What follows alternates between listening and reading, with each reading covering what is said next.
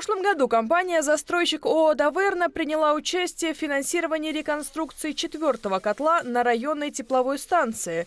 За счет выделенных 80 миллионов рублей удалось расширить и переоборудовать тепловые мощности города. И теперь, когда город вполне может обеспечить новые дома по Олимпийской улице теплом, застройщик протягивает линию теплоснабжения от домов до РТС.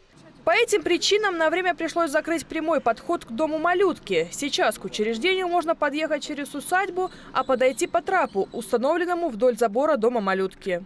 До 30 марта, то есть в течение ближайшей недели, мы э, закроем вот этот коллектор э, с этим отрезком трубы. Здесь будет э, уже э, покрытие, э, пока еще не в окончательной конфигурации, еще не асфальт, но уже так, что может проехать легковая машина.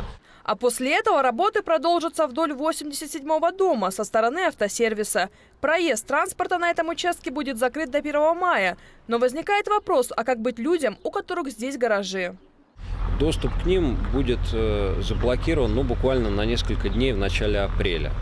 Очень э, извиняемся за э, доставленное неудобство. Ну, мы идем строго по согласованному проекту, и невозможно развивать тепло, теплосеть города Видное без того, чтобы ну, на какой-то момент не пройти здесь.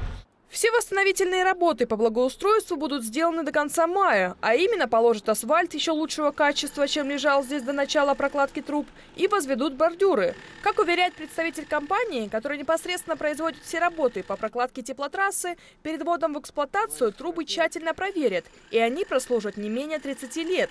Поэтому ситуация, что придется вскрывать асфальт для их починки, исключена.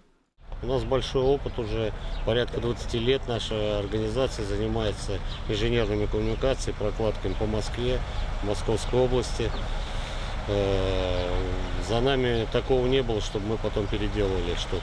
Жителям дома 87 надо всего лишь набраться немного терпения, и в скором времени дорога в их дворе станет еще лучше. А будущие жители новых домов по Олимпийской улице получат тепло в свои квартиры, не забирая тепло у других жителей города Видное.